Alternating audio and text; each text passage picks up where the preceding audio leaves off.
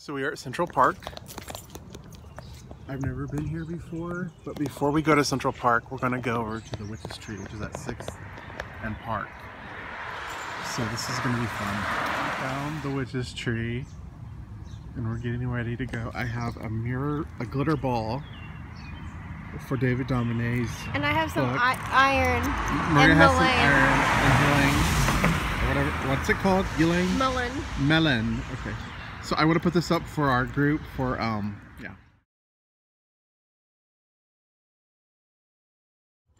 So there's Charles Rings. All those people in that apartment are probably like, what are they doing? Like how high up those beads are in that horseshoe. Oh.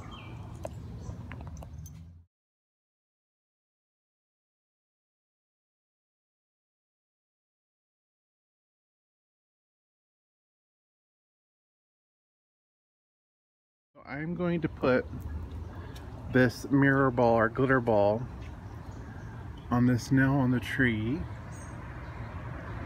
Right there. Um, for all the people in the magic library group. So yep this is James so I just put the mirror ball or the glitter ball up here for there's a scroll I guess above me. I just put it up there for the magic library group and for the for all the magic and yes yes yes I don't know what to say but I'm happy to be at the Witch's Tree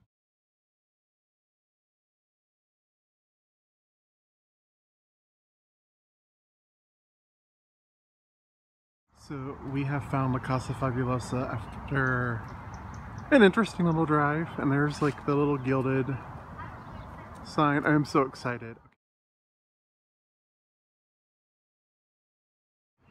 So there's the apartments.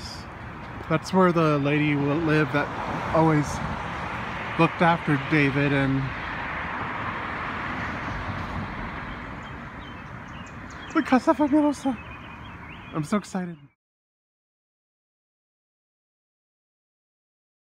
Oh wow, it's so pretty. Look at all these beautiful